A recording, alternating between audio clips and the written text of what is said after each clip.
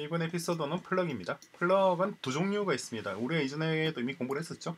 첫 번째는 function plug이고 두 번째는 어, 모듈 plug이에요. 모듈 플럭 이렇게 두 가지가 있고 plug이 뭐냐라고 하는 건데 plug은 connection을 받아서 connection을 리턴 하는 게 plug입니다. connection은 뭐냐라고 하는데 어, connection은 우리가 이미 이전 에피소드에 봤었죠. 어, 그러니까 다시 뭐 언급할 필요는 없겠죠. 우리가 이전에 봤던 그 plug connection connection을 받아서 connection을 리턴하는 그러니까 higher order function 같이 어, connection을 받아 connection을 리턴하는 function들을 다 plug이라고 얘기하는데 그렇게 하는 것이 두 가지가 있어요. 첫 번째는 function 형태로 그렇게 할 수가 있고 두 번째는 모듈 형태로 그렇게 할 수가 있는데 function 형태는 이렇게 connection을 받아서 이렇게 뭔가 돌려서 또 뭐예요? connection을 리턴하는 겁니다. 그러니까 이러한 function에 connection을 넣어서 뭔가 결과가 나오겠죠. 결과가 나오는 것 자체도 connection이라는 거죠. 그죠? 간단하죠. connection을 받아서 connection을 리턴한다. 근데 connection만 받는 것이 아니라 저렇게 옵션을 같이 받습니다. connection과 옵션 세트로 이렇게 받아요. 그죠? 자 그리고 어, 밑에 또 다른 예제로 보니까 이런 HelloWeb 메시지 컨트롤러 이런 거는 우리 아직까지 만든 적은 없어요. 이런 걸 나중에 이런 것도 좀 보긴 할 텐데 어, 보시면은 플럭 이렇게 해서 플럭 이렇게 돼 있단 말이에요. 이게 이제 우리 매크로라고 하고 이제 공부를 할 내용인데 매크로 플럭 매크로가 어, 얘 function입니다. 그래서 이러한 put headers라고 하는 function을 호출하고 그 function의 첫 번째 argument로 여기는 보이지 않습니다만은 connection을 줘요. connection을 주고 그다음에 두 번째 argument로서 이렇게 여기에 전달되도록 그렇게 구성되어 있습니다. 그러니까 첫 번째 argument connection은 왜 안 보이느냐? 어, 보일까요? 그건 좀 이따 제가 말씀드릴게요. 그래서 여기서 리턴되는 값도 connection이 나옵니다. 그 connection이 두 번째 plug로 전달돼요. 두 번째 plug에는 put layout이라고 하는 function이 있죠. 그죠? 이 function에 마찬가지 첫 번째 argument로 connection이 들어가고 여기도 보이지는 않습니다만은 두 번째 argument로 bare HTML이라고 하는 것이 전달되고 그죠? 그럼 얘가 리턴하는 것도 또 뭐예요? 어, connection이 리턴이 되죠. 그 connection이 또 누군가에 전달되고 이렇게 되는 거예요. 전반적으로 보시면은 이 컨트롤러잖아요. 컨트롤, 컨트롤러 자체도 이거 이게 하나의 plug입니다. 왜냐니까 이 컨트롤러를 호출할 때 얘한테도 어, connection을 준단 말이에요. connection을 주고 이 컨트롤러가 리턴하는 것도 connection이란 말이죠.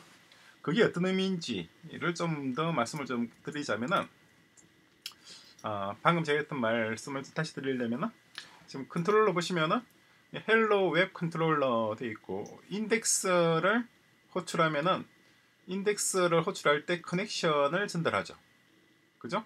그리고 또 파라미터 옵션입니다. 옵션이 전달됐는데 이 인덱스를 호출할 때 누군가가 connection을 전달을 했겠죠. 그러니까 이게 호출되는 거 아니에요? 그럼 인덱스를 누가 호출하느냐는 거죠. 어, 그죠?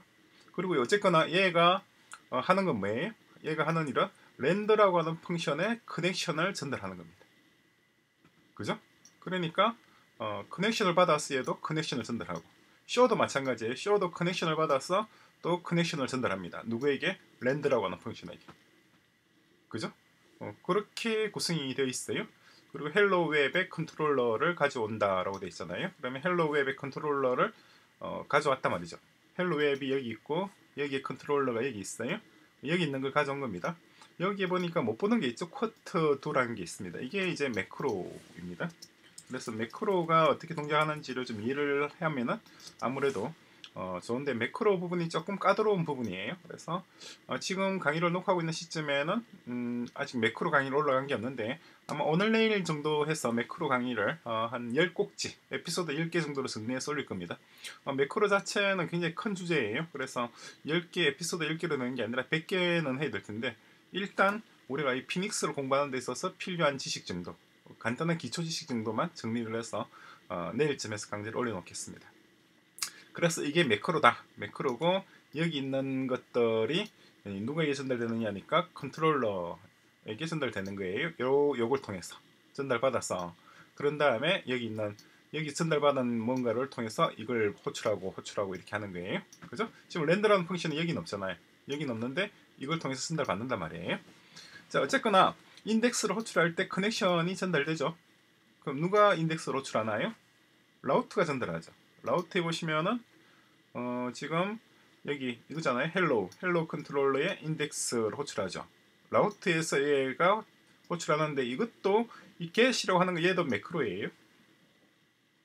얘가 매크로인데 자, 이 매크로를 호출할 때 argument로서 요 녀석과 요 녀석과 요 녀석이 전달된 겁니다. 매크로도 그냥 function입니다. 아주 특이한 function, 좀 용도가 특히 특수한 function들을 매크로라고 표현하는데 이 매크로 get이라고 하는 매크로 function에게 argument로서 얘를 전달한 거예요. 그죠?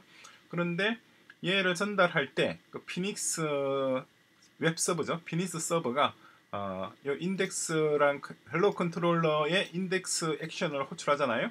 그때 어, 피닉스 웹 서버가 바로 어, 뭘 전달하느냐니까 좀 전에 말씀드린 것처럼 connection을 전달하는 겁니다. 그러니까 얘를 호출할 때 이미 이, 여기 이 모듈에 이 모듈에게 connection이 전달돼요. 그래서 인덱스에게 connection이 들어 있는 겁니다. 그렇죠? 그러니까 피닉스 서버가 conn을 전달한다. 이렇게 이해하면 되죠. 피닉스 서버가 server sends conn을 전달하는 게 argument로. 그런데 방금 우리 책에서 보시니까 책에서 봤을 때 여기 Hello Web 해서 이번에 메시지 컨트롤러라고 하는 것이 있는데 그 위에 플럭 있고 뭐 플럭 있단 말이에요. 그렇죠? 그러니까 컨트롤러를 호출할 때 이미 피닉스 웹 서버가 connection을 전달하고 그 connection이 어디로 들어간단 말이에요? 첫 번째 plug의 첫 번째 argument로 들어가는 거예요. 지금 눈에 보이진 않지만 얘가 옵션입니다. 옵션 앞에 connection이 들어가는 겁니다. 이해되시죠? 나머지는 파이프예요. 파이프로 위에서 나온 리턴 값이 다음 plug로 가고 다음 plug로 가고 이렇게 구성됩니다. 이해되시죠? 그래서 우리 route 같은 경우도 보시면은 route에도 위에 파이프라인을 이렇게 돼 있잖아요. 그러니까 이 플러그 막 있잖아. 플러그, 플러그, 플러그, 플러그. 플러그 다섯 개가 나 이렇게 있죠. 브라우저. 얘는 언제 호출한다고 돼 있나요? 그러니까 어, 스코프 헬로 웹. 헬로 웹 컨트롤러 헬로 웹의 스코프가 헬로 웹이고 헬로 웹은 여기 이제 앞에 Hello Web 점 페이지 컨트롤러 Hello Web 점 Hello 컨트롤러 이런 말이에요. 그죠? 어쨌거나 이 루트라고 하는 scope 주소창에 루트가 들어가거나 루트 뒤에 hello가 들어가거나 이렇게 되면은 이 scope가 호출되는 거죠. 얘가 호출되는데 얘가 되기 전에 뭘 하느냐니까 pipe through에서 브라우저를 파이프 스루로 해요. 그 pipe through는 파이프라인을 쭉 지나간단 말입니다. 파이프라인을 지나갈 때 여기 여기서부터 plug, accept 지나고 plug fetch session 들어가고 여기서 리턴 되는 값이 여기 들어가고 여기서 리턴 되는 값이 여기로 다시 리턴되는 값이 여기로 그래서 마지막으로 리턴되는 값이 여기로 흘러가는 거예요. 혹은 여기로 흘러가거나 혹은 여기로 흘러가거나 그죠? 그러니까 인덱스를 호출하거나 show를 호출할 때 이미 connection conn이 전달돼서 나간다 말이죠. 그죠? conn이 리턴돼서 나오는 거예요. 그래서 그 conn이 여기도 들어가고 여기도 들어가고 여기도 들어가고 하니까 Hello 컨트롤러에는 여기 눈에 눈에는 우리가 지금 보시면은 여기 뭐라고 되나요? 어 여기 여기는 뭐 딱 상관이 없네. 지금 좀 전에 봤던 것처럼 여기 플러그 앞에 connection이 따로 없다 하더라도 없어도 이미 얘를 호출할 때 connection이 전달되어서 이 플러그의 첫 번째 argument로 들어가고 두 번째 argument로 또 전달되고 전달되고 하는 거죠. 그죠? 자, 그렇게 구성이 되어 있는 상황이고 그러니까 피닉스 웹 서버는 connection으로 시작해서 connection으로 끝나는 것이고 어, 컨트롤러 자체도 그냥 전체로 보면 하나의 connec, connection이에요. 왜냐니까 컨트롤러를 호출할 때도 connection이 전달되고 컨트롤러에서 뭔가 액션이 실행될 때도 connection이 빠져나온단 말이에요. 그러니까 컨트롤러 자체도 그냥 하나의 어, 플러그란 말이죠. 그죠? 이것도 이것 자체도 하나의 플러그예요. 컨트롤러만 그런 게 아니라 다른 것들도 모듈들도 다 지금 이제 피닉스에서는 그 자체가 하나의 플러그입니다. 자 그리고 그 리턴 되는 값을 보시면은 다 플러컨 돼 있고 여기도 플러컨 리턴 되는 값이 모시는 시정이 다 돼 있죠. 그죠? 그런 내용이고 어, 그런데 이런, 이런 플러그램은 어디에 쓰는 것이 좋은가라고 하는 건데 예제가 하나 나와 있어요. 이 예제를 보시면은 자 만약에 만약에 어, show라고 하는 function을 우리가 호출을 하는 거예요. show show라고 하는 function 우리 버, 여기도 show 있잖아요. 이런 show를 func, 호출하는데 어, 만약에 authenticate라고 하는 function을 호출해서 여기서 이렇게 OK가 나오면은 다시 케이스가 들어가는 거예요. 케이스에서 find message라고 하는 function을 호출하고 그래서 또 뭔가 답이 리턴되는 값이 있으면은 거기에 맞춰서 다시 또 authorize message라고 하는 function을 호출하고 그러니까 조건 케이스 속에 또 다른 케이스가 있고 또 다른 케이스가 있고 이런 이런 nested nested 케이스라고 보통 표현하죠, 그죠? nest돼 있는 구조의 경우 뭔가 이렇게 좀 산만해 보이잖아요. 근데 이것을 plug을 쓰면 굉장히 깔끔하게 된다는 겁니다. 어떻게 하냐니까 지금 위에서 봤던 세 개의 function authenticate라는 function, authorize message라는 function, find message라는 function 세 개의 function 있잖아요. 이 세 개의 function들을 다 따로 빼내는 거예요. 이렇게 authenticate 빼내고 fetch message 빼내고 authorize message 빼내고 그런 다음에 요거 자체를 세 개를 연속적으로 plug plug plug 해버립니다. 그럼 여기서 리턴되는 여기 여기 호출할 때 이미 conn이 들어가죠. conn 들어가고 리턴 돼서 나오는 값도 conn이 넣는단 말이에요. 그 conn이 여기로 전달되고 또 fetch message도 conn이 전달되어서 리턴되는 값이 또 어떤 경우든 conn이 리턴되게 돼 있어요. 그죠? 그 conn이 또 다음 넘어가고 그죠? 그래서 이 show를 실행할 시점에는 이미 이 세 가지를 다 거치게 되는 거죠. 이 중에 하나가 뭔가 잘못되었다. 그러면 거기서 끝나는 거예요. 정의된 에러 메시지, 에러 메시지 있잖아요. 이 에러 메시지. 오센티케이트에서 잘못됐으면은 여기서 에러로 끝나버리고, 패치 메시지에서 잘못됐으면은 마찬가지 여기 닐로 끝나게 되는 거고, 오슬라이즈에서 뭔가 잘못됐으면은 이것도 마찬가지 엘즈에서 끝나게 되는 거죠. 그죠? 그러니까 깔끔하죠. 깔끔하게 그러니까 위로 이렇게 되어 있는 것을 이렇게 되어 있는 것을 이런 식으로 파이프라인, 파이프라인의 특징이 그잖아요. 깔끔하게 정리할 수가 있다는 겁니다. 이게 또 functional 프로그래밍의 가장 기본적인 기법이죠. 그죠? 그래서 plug의 용도, plug의 용도라고 하는 것이 파이프라인을 구성하는 function들 간의 파이프라인을 구성하기가 상당히 좋다는 것이고 이런 plug을 다 통과한 다음에 이게 실행되는 겁니다. 그죠? 그래서 라우터의 경우에도 어떻게 됐나요? 다시 말씀드리면은 라우터에서도 요게 실행되기 전에 먼저 여기 있는 것을 다 거치는 거예요. 여기 있는 거 뭐죠? 얘를 다 거친단 말이죠. 그죠? 거친 다음에 실행되는 구조예요. 그래서 plug은 그냥 간단하게 어, connection을 받아서 connection을 리턴하는 function 또는 모듈이란 말이에요.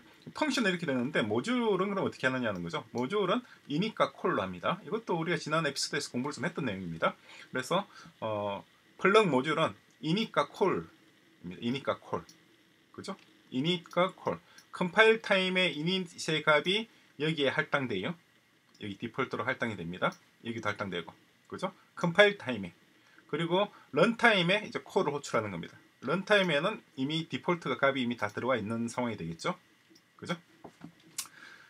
자, 그리고 예, 예, 예. 그래서 이렇게 요거는 우리 지금 하고 있던 거네요. 그래서 그럼 모듈 같은 경우는 어떻게 파이프라인 plug를 구성하느냐라고 하는 건데 그냥 그대로 복사를 해서 route에다가 어, 위에다가 넣고 그럼 Hello Web Plug Locale이라고 하는 게 있잖아요.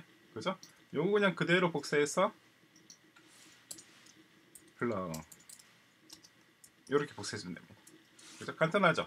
그리고 옵션이 필요하다 그러면 옵션 옵션이 여기다 추가될 수가 있죠. 그러니까 어, function 형태의 plug은 이런 형태가 되고 모듈 형태의 plug은 이런 형태가 됩니다. 그죠? 그리고 조금 전에도 말씀드렸습니다만은 Hello Controller 컨트롤러 자체도 plug입니다. 그죠? 이것도 모듈이잖아요. 모듈로서의 plug이에요. plug이고 route에서 이런 형식의 plug을 만들어서 넣을 수가 있다는 거죠.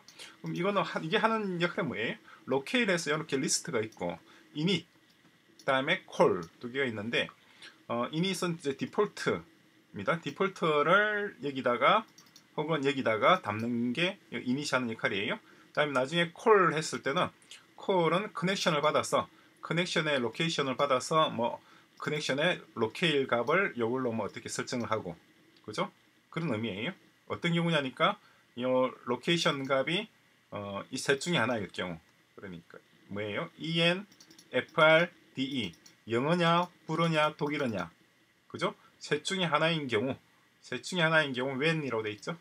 조건이 되어 있습니다. 이 경우에는 이렇게 하란 말입니다. 이렇게 하라는 거고 그리고 그렇지 않은 경우 그렇지 않은 경우에는 디폴트 값을 어, 로케일에 할당을 해라 이 말이에요. 그죠? 디폴트 값은 뭐 어떻게 할 수 있나요? 우리 이전에 했었죠. 여기 디폴트 값이잖아요. 호출할 때. 그죠? 그러니까 어, function이나 모듈이나 어, 디폴트 값을 주는, 주는 방- 방식은 옵션이에요. 옵션 방식으로 제공할 수가 있죠. 우리 예전에 요거 할 때 그죠? background job 할 때 디폴트 값을 주는 걸 했었죠. 그죠? 이런 것과 동일한 겁니다. 그리고 보시면은 지금 보시면 background job에 다 플러그 해놨잖아요. 그러니까 이것도 plug였죠, 사실은. 사실은 이것도 plug입니다. 자, 거기에 이제 plug의 기본적인 메커니즘, 가장 단순한 메커니즘이고 모듈 형태일 수도 있고 function 형태일 수도 있고, 그죠? 그러니까 피닉스 웹 서버는 처음과 끝까지 다 이 plug로 시작을 하고 플러그 끝이 나고 그리고 무엇보다도 이걸 제대로 이해하기 위해서는 매크로의 동작 메커니즘을 우리가 이해할 필요가 있습니다. 그거는 어, 다시 말씀드립니다만 내일 해서 에피소드로 한 10개 정도에서 매크로 정리해서 강의를 올릴 테니까 참고하시기 바랍니다.